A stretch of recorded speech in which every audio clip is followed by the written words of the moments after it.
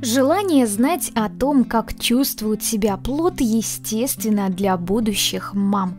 Прикладывание ладони к животу, они с волнением прислушиваются к своим ощущениям. Как живет малыш и что с ним происходит? Может он спит или сосет пальчик, переворачивается или кувыркается.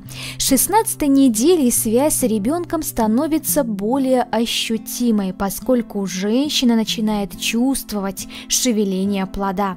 Теперь ей очень интересно, почему в одни дни малыш более активен, а в другие его почти не слышно. Жизнь ребенка в животе матери идет по своим законам, которые плохо изучены. Известно одно – она насыщена и во многом зависит от настроения и самочувствия будущей мамы. Что же интересно, интересного происходит с малышом. Первое движение эмбрион делает на седьмой неделе беременности. На девятой неделе он поворачивает головку, шевелит ручками и ножками. С десятой эмбрион считается плодом. В это время он может трогать пуповину, касаться руками лица и половых органов. В конце первого триместра кроха умеет сжимать кулачки, учится контролировать движение пальцев, сосет пальчик на правой или левой руке. Так он усваивает мелкую моторику, развивает двигательные навыки. Постепенно малыш учится выражать свои эмоции.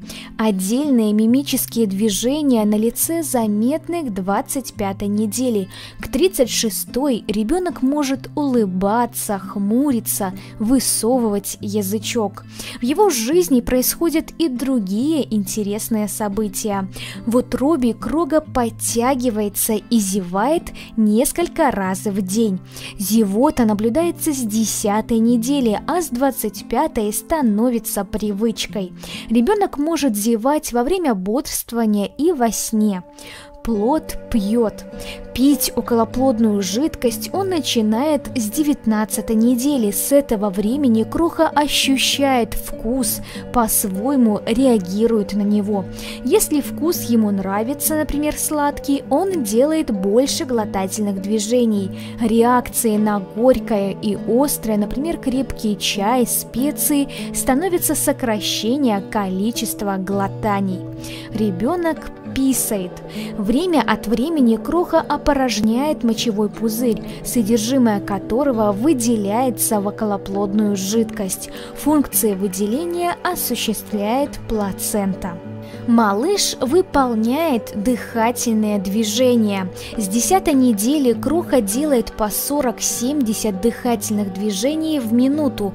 Он дышит через плаценту, но заблаговременно готовится к легочному дыханию после родов.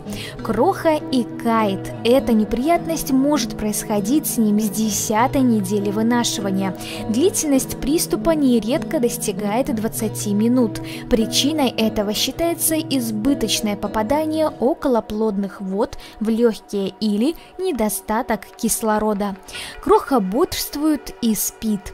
На чередование этих периодов не влияет состояние мамы и время суток. Особенно важно является фаза быстрого сна. На нее в сутки уходит 42% времени. В этот период совершенствуется нервная система. Малыш плачет. Ультразвуковые технологии позволили идентифицировать звуки, издаваемые плодом в мамином животике. Среди них отчетливо различимы те, что напоминают плач. При этом наблюдается дрожание нижней губы, что характерно для плача младенца. Это позволило специалистам сделать вывод, что очень важный навык коммуникации ребенок совершенствует внутриутробно. Иногда кроху совсем не слышно. Возможно, он спит, занимается изучением пальчиков или пуповины, или к нему поступает недостаточно кислорода. Когда он меняет положение, кровоток через пуповину усиливается и подача кислорода растет. В это время кроха проявляет активность. Если малыш чрезмерно активен, это не значит, что после рождения он будет беспокойнее младенцев, которые ведут себя тихо. Сначала у крохи совершенствуются функции осязания. Седьмой недели кожа может реагировать на холод и тепло. Малыш может чувствовать, что его окружают околоплодные воды, ощущать удары материнского сердца. Особую роль во внутриутробном развитии малыша играют звуки. Чтобы понять, как он слышит, достаточно нырнуть под воду. Именно в такой приглушенной форме малыш воспринимает звуки извне. К 25 неделе слуховой аппарат полностью развит. С этого времени очень важно разговаривать с крохой, рассказывать ему сказки, петь колыбельные. Малыш запомнит голоса близких людей и узнает их после рождения. Дискомфорт ребенку приносят шумные звуки, рок-музыка, ссоры, громкие телефонные звонки, работа кухонного комбайна. Глаза открываются примерно на 27 неделе. С этого момента плод реагирует на свет.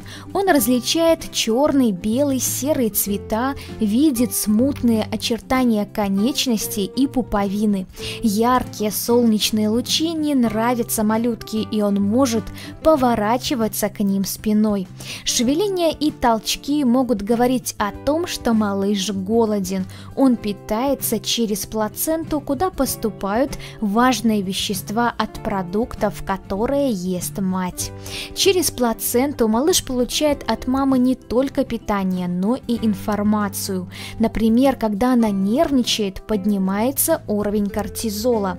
Этот гормон участвует в поддержании энергетических ресурсов организма, и увеличение его концентрации отражается на состоянии малыша.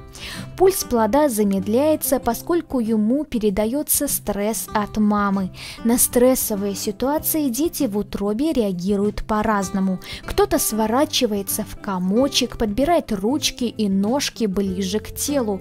Кто кто-то становится нервным и беспокойным, а женщина при этом отмечает усиленное шевеление плода.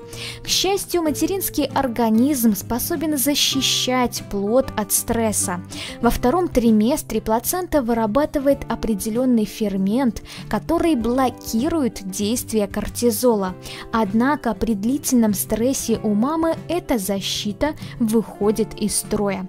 Обидеть малыша можно и в утробе, если он чувствует разочарование, негатив, резкие интонации в голосе матери, то очень расстраивается.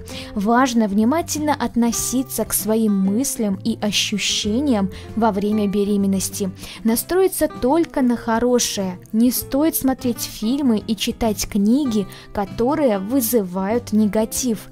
Полезными для малыша и его матери будут классическая музыка, книги со сказками, посещение живописных мест и здоровая еда.